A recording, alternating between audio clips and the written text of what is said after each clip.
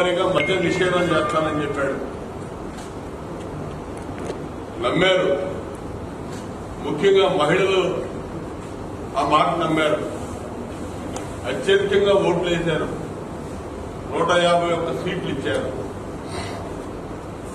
మరి ఏ విధంగా వంచాడో స్పష్టంగా ఈ మూడున్నర సంవత్సరాల కాలంలో మద్య నిషేధం విషయంలో మనం చూస్తా ఉన్నాం.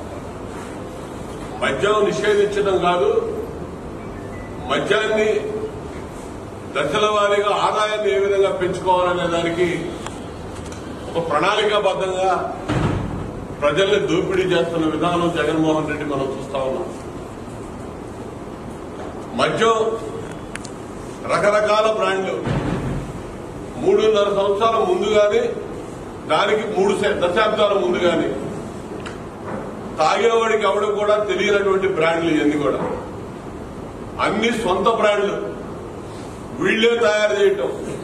ఈ రాష్ట్రంలో ఉన్నటువంటి డిస్టిలరీస్ మొత్తం కూడా బెదిరించి కబ్జా చేసేశారు. డిస్టిలరీ పేర్లు మాత్రం పాత వాళ్ళ పేరు మీద ఉంటాయి. కాంట్రాక్టులు వీళ్ళ పేరు మీద కాంట్రాక్ట్కి తీసుకున్నట్టుగా వీళ్ళకి అగ్రిమెంట్లు ఉంటాయి. బ్రాండ్స్ వీళ్ళు తయారు చేస్తారు. మొత్తం జగన్మోహన్ రెడ్డి బ్రాండ్లే తయారవుతా ఉంటాయి అక్కడ. ఏ బ్రాండ్లు ఉన్నాయో కూడా ఎవరికి తెలియదు. తాగేవాడికి కూడా ఏది అందుబాటులో ఉంటే అది తాగక తప్పని పరిస్థితులు కల్పించినటువంటి రాష్ట్రం ఆంధ్రప్రదేశ్ రాష్ట్రం. దేశంలో స్వయంగా ముఖ్యమంత్రి తన అనుయాయులతో మద్యం తయారు చేసి చేపించి అమ్మినటువంటి పరిస్థితి మనం ఎక్కడ చూడాల. ఆంధ్రప్రదేశ్ రాష్ట్రంలోనే చూస్తా ఉన్నాం. మద్యం వ్యాపారస్తులతో సంబంధాలు ఉండవచ్చు కమిషన్లు తీసుకున్న వాళ్ళు చూసాం.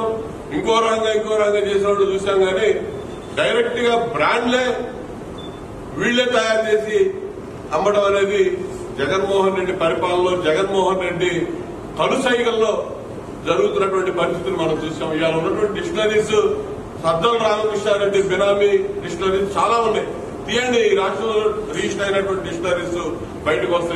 ఇలాంటి మరిన్ని వీడియోలు కావాలనుకుంటున్నారా? అయితే సబ్స్క్రైబ్ చేసి పక్కనే ఉన్న బెల్ సింబల్ను క్లిక్ చేయండి.